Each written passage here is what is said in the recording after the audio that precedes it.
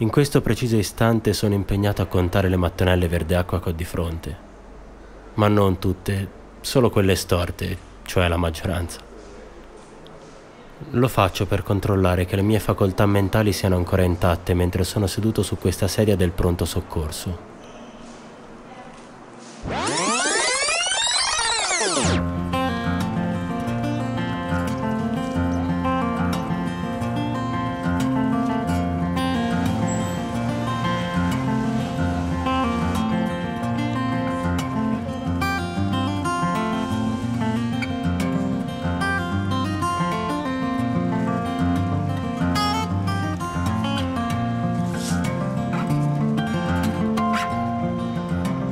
Avevo deciso di iniziare la mia carriera di giurisprudenza dall'altra parte.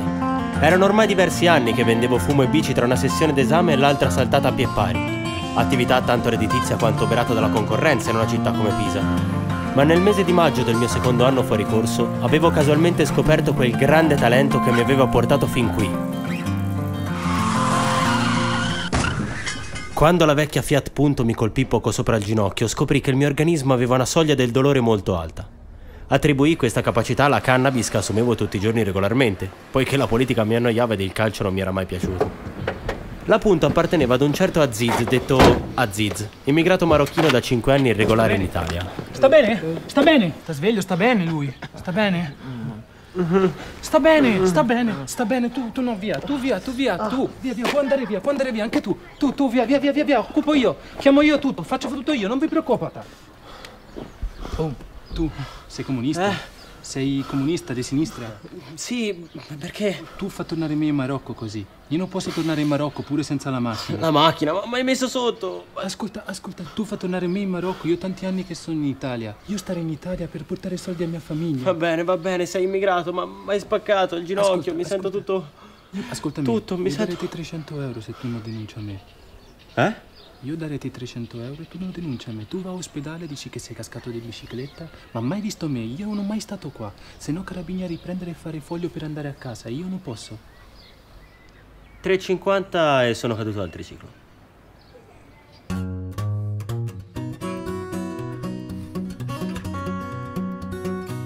Era iniziata così la mia nuova attività in barba ai giri dalle invisibili forme rococò sui selciati della città e ai cacofonici bici fumo bisbigliate alle coppie pomicione.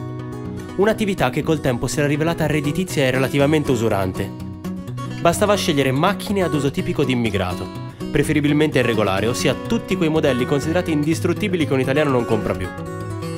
Certo, con certe 500 modello 1997 ci si poteva ancora sbagliare, ma in quelle occasioni bastava dare un'occhiata veloce all'eventuale presenza di peluche nell'abitacolo. Per far scendere drasticamente la drammaticità delle conseguenze bastava lanciarsi sempre con un piccolo saltello, con la mano sinistra nascosta pronta a pilotare per quanto possibile l'impatto col cofano. E poi spalle avanti, mai la testa contro il vetro. Il rumore poi era fondamentale. Un grosso botto con l'impatto era uno degli effetti speciali di più successo.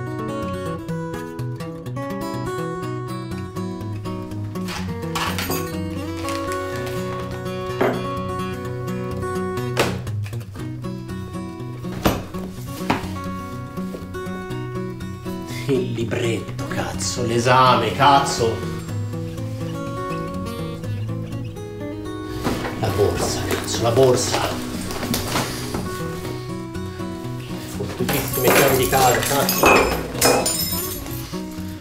La mia impegnata agenda non mi permetteva più di frequentare l'università come al tempo del ciclismo di spaccio. Non tanto per le pagine fitte di impegni quanto per il recupero necessario dopo gli appuntamenti di lavoro. I risultati di diritto pubblico. Esame che stavo preparando da circa un anno e che è il vero e proprio spartiacque della mia carriera universitaria. Ero convinto che la votazione fosse collegata alle occorrenze mestruali della Giovanardi e stavo quindi calcolando l'appello migliore con l'aiuto di un astrofisico. Qua manco Margherita. Sono gli esami della Giovanardi quelli? Sì, cagna. Oh, ma come ti permetti? Ah, No, scusa, ma non dicevo mica a te, ma a quella cagna fertile della Giovanardi.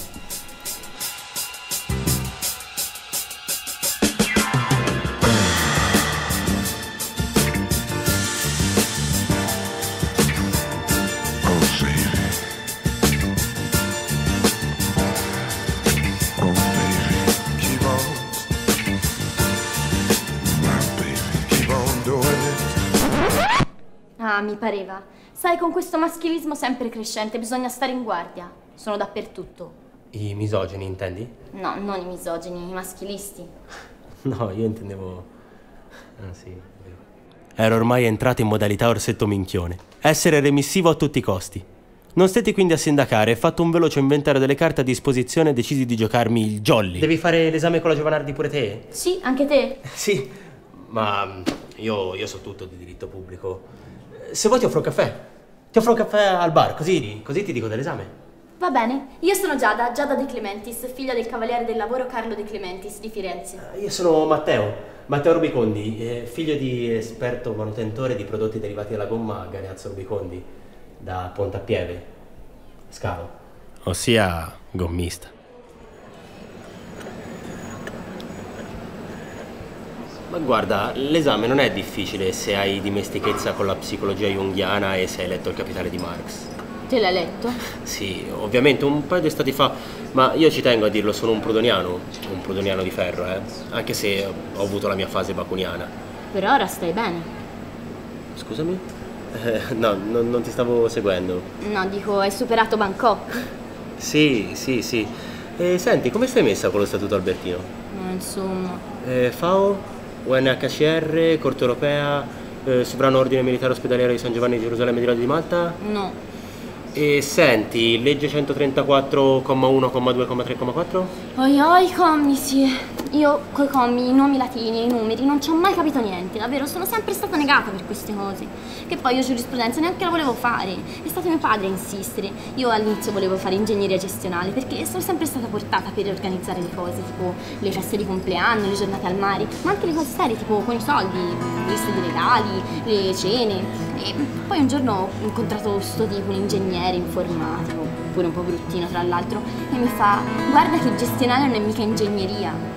E allora, e allora che ci ho pensato? Ci ho pensato veramente e mi sono detta che nel dubbio era meglio fare qualcosa per cui ero portata veramente. L'estetista. E se poi ci pensi non è tanto diverso da ingegneria gestionale, è sempre in qualche modo togliere lo sporco, lo sgradito, il brutto, fare le cose fatte bene in un certo senso. E, però poi mio padre ha insistito tanto per giurisprudenza, quindi Ma sai, giurisprudenza è una materia interessante quanto difficile. te però ne sai. Eh sì, io effettivamente ne so molto. Se vuoi posso darti una mano con diritto pubblico. Davvero? Certo. sì, vabbè, diciamo che per me è un ripassino. È così che è iniziato il mio corteggiamento verso Giada. Grazie. Era 12 euro, grazie. No, lascia, lascia. Pago io. Grazie. Due cappucci, due pasti e un bicchiere d'acqua. E onestà. Onesta te? 5,80. Giada, hai 30? No, Eh, niente, allora ho 50. 50 vanno bene. Eh, lo sapevo che andavano bene. Che prendi? boh, che mi offri? Campanino? No, uno spritz. Due spritz.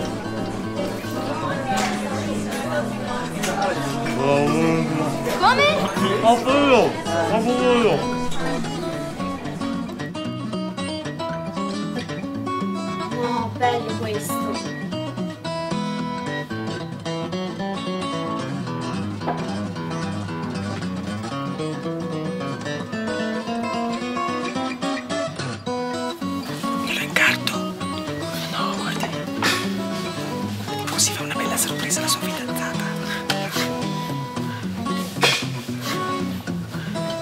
Che dice facciamo una bella coppia insieme?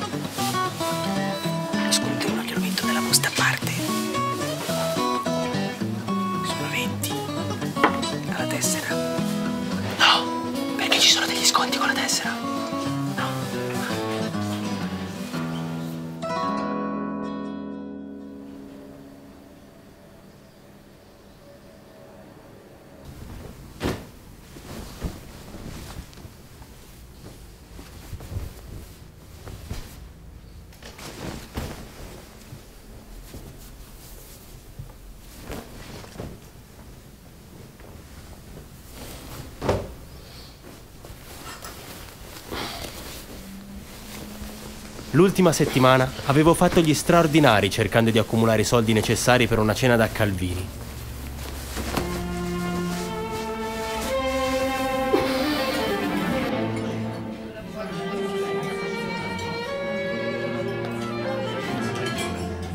Una stella Michelin. Quattro forchette sul gambero rosso. Camerieri con lauree in storia medievale e se si presentano a PostePay al momento del pagamento,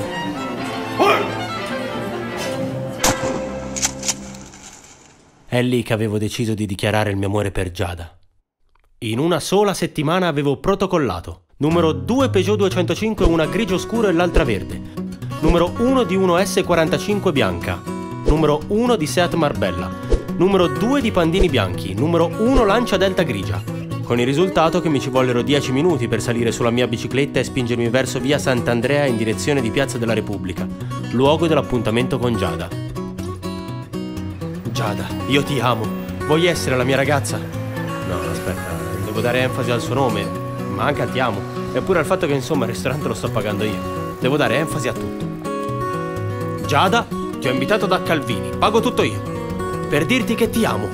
Vuoi essere la mia ragazza? Sì, vabbè, così può andare bene, solo più convinzione, più uomo meno zerbino, più uomo meno zerbino, concentrato. Nessuna possibilità stavolta di mettere la mano avanti. Nessuna sceneggiata napoletana post impatto. Inutile la finezza di colpire di spalle. Avevo abbracciato il SUV col mio corpo mentre ero girato dall'altra parte e mi facevo gli affari miei. Oh, vieni, vieni! Oddio, t'ho arrotato! Pure Romero questo! Matteo, stai te! Ma come stai, tesoro? No, tranquilli, lo conosco, è un mio amico. Ora lo porto in ospedale. Ma sta bene, è solo un po' rincoglionito.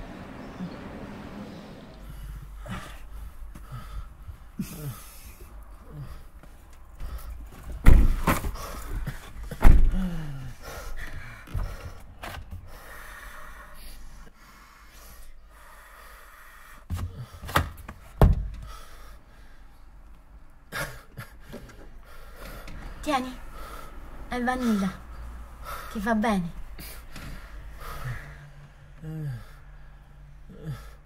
Gatta sotto.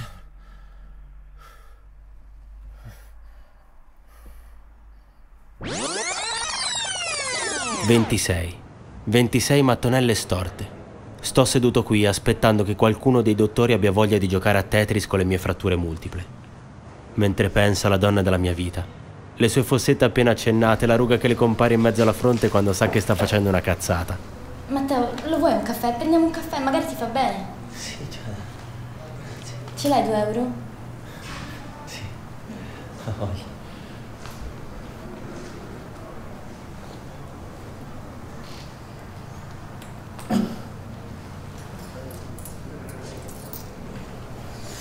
Giada, io ti amo. Vuoi essere la mia ragazza? Ecco, lo sapevo, le sfighe tutte insieme.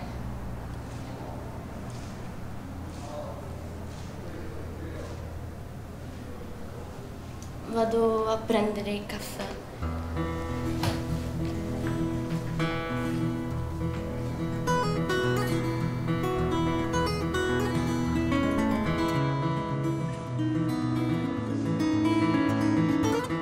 Rubicon incidente d'auto. Sì.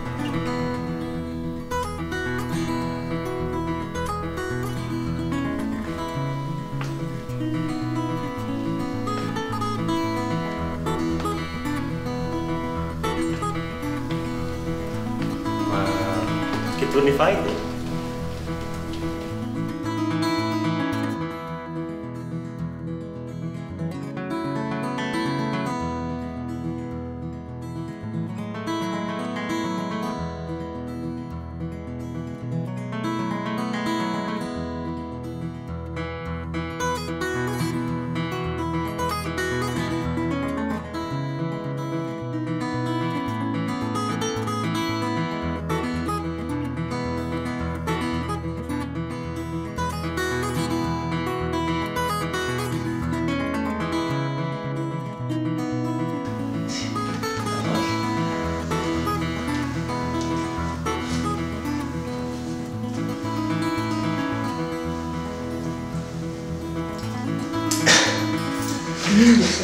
Sti cazzo di soldi, no, Pubblico un incidente d'auto? Sì.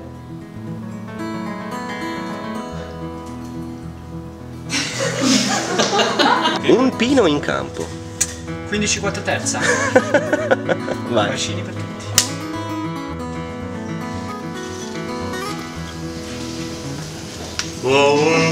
Come? Ho vero! Ho vero!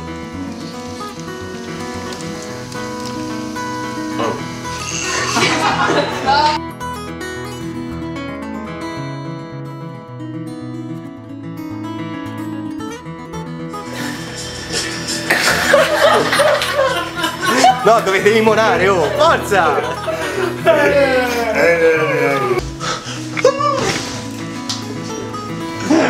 Siete proprio stupidi.